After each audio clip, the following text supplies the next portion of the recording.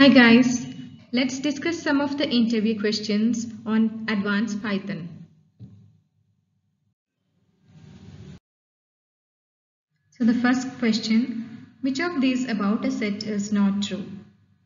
Options are A. Mutable data type, B. Allows duplicate values, C. Data type with unordered values, D. Immutable data type. The answer is option D. Immutable data type because a set is a mutable data type with non-duplicate unordered values providing the usual mathematical set operation.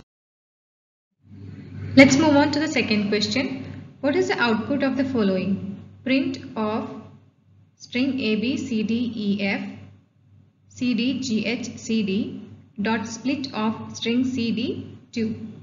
Options are A. List of string A, B, string E, F, string G, H, C, D Option B list of string AB, string EF, CD, GH, CD. Option C list of string AB, CD, EF, string GH, CD. D none of the above. The answer is going to be option A list of string AB, string EF, string GH, CD. The string is split into maximum of max split plus 1 sub what is the output of the code shown below? List of order of character for CH in string ABC. Options are A. List of 97, 98, 99. Option B. List of string 97, string 98, string 99. Option C. A list of 65, 66, 67. Option D. Error. The answer is option A. The list comprehension shown above returns the ASCII value of each alphabet of the string ABC. Hence the output is 97, 98, 99. Had the string been capital ABC, the output would be list of 65, 66, 67. Let's discuss the fourth question. Suppose T is equal to array of 1, 2, 4, 3. Which of the following is incorrect? Option A print of T of 3 Option B, T of 3 is equal to 45. Option C, print of max of T. Option D, print of len of T. The answer is option B because values cannot be modified in case of tuple that is tuple is immutable. What is the output of the function shown below? List of enumerate of array 2, 3. Options Option A error B List of array 1, 2, array 2, 3. Option C. List of array 0, 2, array 1, 3. Option D. List of array 2, 3.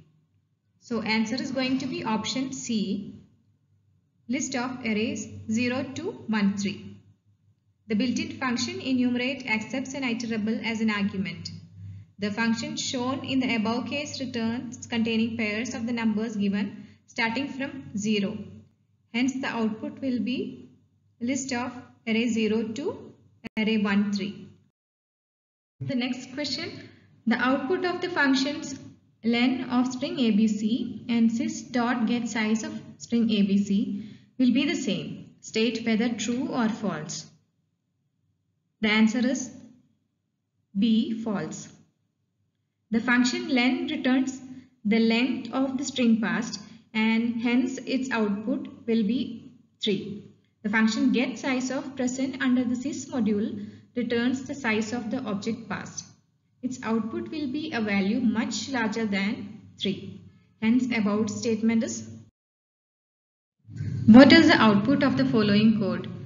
L is equal to empty list def convert of B if B double equal to 0 return L dig equal to b modulus 2 L dot append of dig convert of b divided by 2 convert of 6 L dot reverse for i in L print i end is equal to empty string.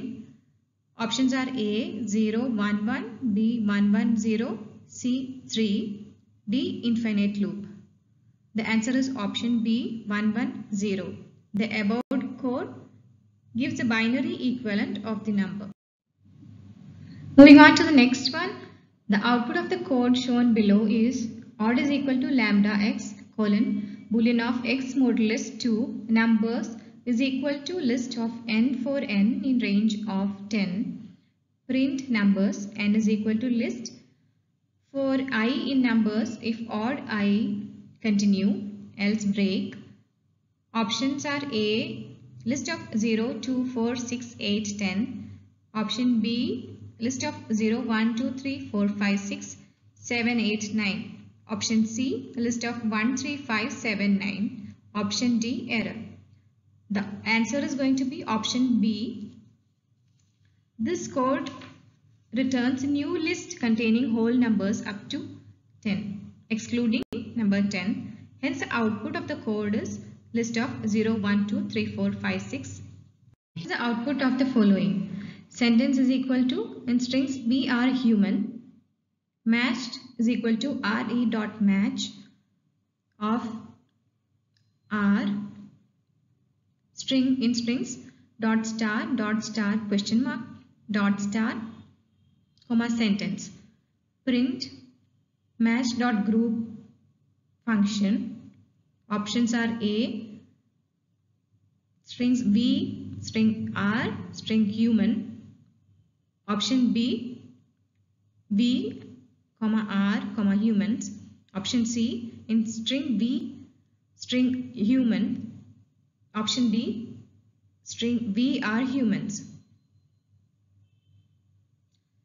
The answer is going to be option d. String v are humans. This function returns the entire match. What is the output of the code shown below? Import re s is equal to string abc 1, 2, 3, XYZ, triple six LMN hyphen 1, 1, DEF 7, 7. RE dot SUB of R string backslash B array of list of A to Z plus array of backslash D plus comma R string backslash 2 backslash 1 colon comma s. The options are A string 1 2 3 ABC colon triple six XYZ colon LMN hyphen 1177 DEF colon option B string 77 DEF colon LMN hyphen 11 colon triple six XYZ colon 123 ABC. Option C string ABC 123 colon string XYZ triple six colon string LMN hyphen 11 colon string DEF 77 colon option D string ABC 123 colon XYZ triple six colon LMN hyphen 11 colon DEF 77. The answer is option A. The function re dot sub returns a string produced by replacing every non-overlapping occurrence of the first argument with the second argument in the third argument. Hence the output is string 1, 2, 3 ABC colon 666 XYC colon LMN hyphen 1177 DEF. So the next one, what is the use of tell method in Python? Options are option A tells you the current position within the file. Option B tells you the end position within the file. Option C tells you the file is opened or not. Option D, none of the above. The uh, answer is option A. The tell method tells you the current position within the file. In other words, the read, the next read or write will occur at that many bytes from the beginning of the file. A and B be objects of class FOO, which functions are called when print of A plus B is executed. Options A underscore add underscore function comma underscore str underscore function option b underscore str underscore function comma underscore add underscore function option c underscore sum underscore function comma underscore str underscore function. Option D underscore str underscore function comma underscore sum underscore function.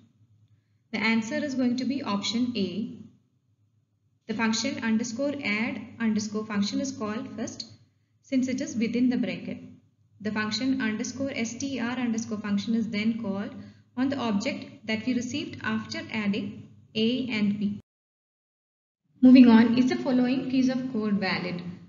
Class B of object colon def first of self colon print of string first method called def second function colon print of string second method called ob is equal to class B b dot first of ob. The options are A it isn't as object declaration isn't right. Option B it isn't as there isn't any underscore init underscore method for initializing class members. Option C yes this is a method of calling and is called unbounded method call. Option D Yes, this method of calling is called bounded method call. The answer is option C. The method may be created in the method demonstrated in the code as well and this is called an unbounded method call. Calling the method using obj.1 is the bounded method call. One, what is the output of the following piece of code?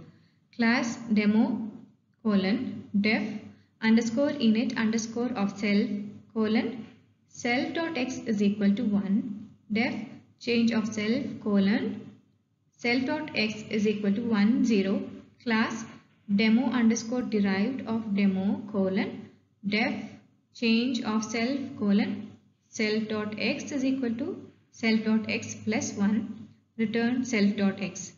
Def main function obj is equal to demo underscore derived function.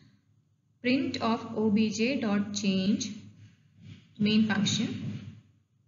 So the options are a 1 1 b 2 c 1 d an exception is thrown the answer is option b 2 the derived class method change overrides the base class method.